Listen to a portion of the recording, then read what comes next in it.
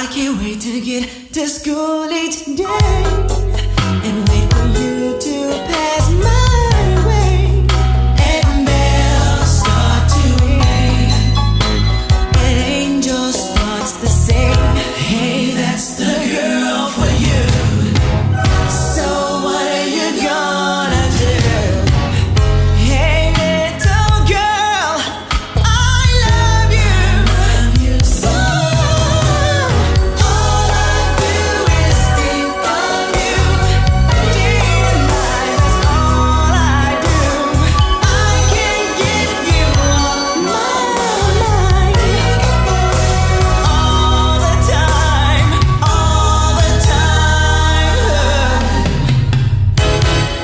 I'm gonna take the long way home.